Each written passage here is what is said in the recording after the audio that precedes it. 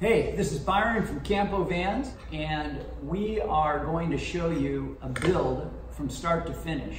So welcome to our shop. okay.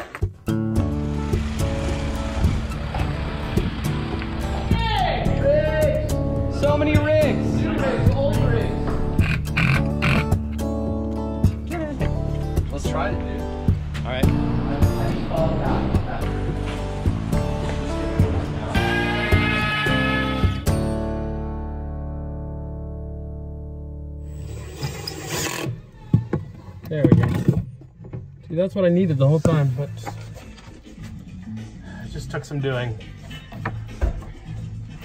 Isaiah mounted the sink into the countertop earlier, so the countertop's fully finished as far as the finish is concerned.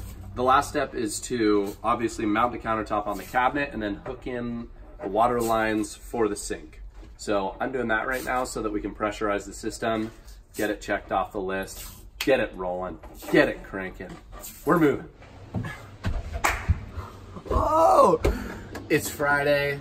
The customer's picking up the van on Tuesday.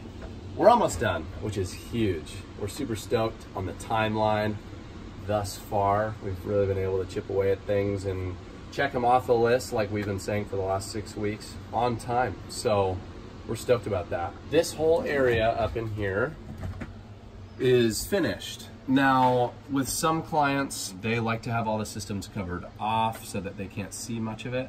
This client wants it to be more accessible and visible so that he can know a little bit more about what's going on behind the scenes. So here we have the solar charge controller with breakers going from the solar panels to the charge controller, from the batteries to the charge controller, and then from the batteries to the fuse box. This fuse box is for all the 12 volt appliances in the van. So that's your fan, that's your lights, that's your USBs. And then here we have the Rixen hot water system controls. This is basically where you can decide, I want hot water, I want hot air, or I want less hot air, or I don't want hot air, but I still want hot water. It's a great system and it kicks some serious booty. Otherwise, systems wise, we're done. Water's good and pressurized, hot water works. The whole cabinet is finished. We just have to vacuum it out and uh, create one more area for storage in this cavity right down here.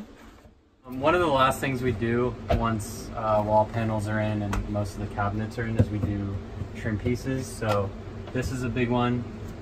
Just basically covers all the exposed metal and some of the wiring harness and some holes in the van that are there. So this is basically just three quarter inch wood that gets upholstered and kind of bends to the curve of the van. Um, another big piece is this guy right here, which covers the bolts for the sliding door track. Um, also another pretty intense trim piece.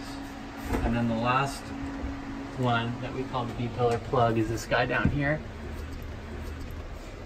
Also just a big piece of wood that kind of gets carved to the curve of the van and upholstered. So yeah, those are kind of big finishing touches we end up doing at the very end. And then in terms of cabinets, basically the last thing that has to happen is the folding piece in the middle. In the end, there's, you put these two aluminum bars in, and then there's a, a panel here and a panel here that hinge off this corner, and they come down and make your bed. But if you want to be hauling a bunch of plywood or a bunch of bicycles or something like that, you can hinge it up, and then you have this huge open space in the middle, middle of your van. So this is driver's side underbed cabinet. We just do these elastic nets. We've done it where it's been just open and we've done it with faces and we've kind of settled on this elastic system just because it's really easy to access and just a nice simple solution for that. And then the very bottom two we, we do put doors on just in case you want to put stuff in there that's maybe more likely to fly out and it kind of hides this wheel well box that's underneath there. We also put L-track um, along both cabinets just so if you want to strap stuff down and we also put it up here in the corners. Basically, the very last finishing touch is putting on the countertops. It makes everything feel finished. It's also just the last step in our process So these have been coated with a finish coat of, it's a whey-based coat, so it's food safe. This is the dinette table for the dinette area that's gonna go in front of the folding seat, but behind the driver seats. So this is a nice big piece of bamboo and it really warms up the van when it's in here. Looks really good. This is the first exterior folding leaf that folds down outside of the van. And then this is the interior folding leaf that folds up right next to the fridge. Um, this is the countertop for the storage behind the folding seat. Getting the, we're letting these dry and then uh, we're gonna throw them in the van here. Underneath the bed cabinet, we've got some underbed lights. Uh, we, we put four of them in here in the garage area just to keep things lit when you're loading and unloading bikes or luggage or what have you. This is our uh, exterior shower, so it's a quick release with a hot and cold adjustment.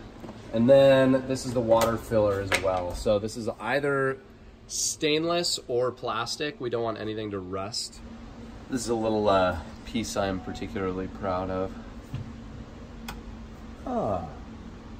There, now I can clearly see my water tank. Isn't that just sweet looking? Boom! This build is pretty much like 95% done. It's uh, We've got all the systems in, everything's looking good. It's just uh, finishing details. The plan is to give it over on Wednesday, but I think we'll we'll be ready by Monday or Tuesday, honestly. Um, now it just comes down to like a good clean and finishing touches. So we're feeling good.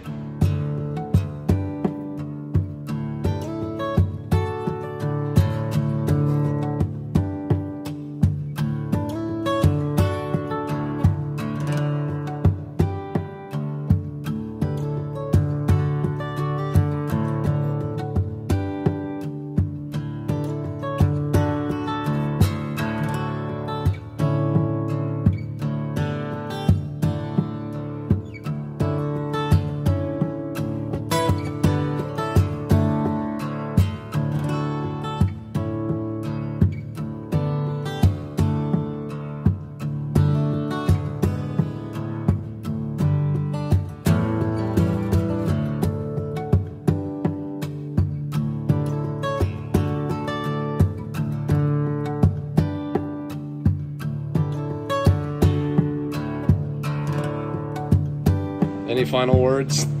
Goodbye.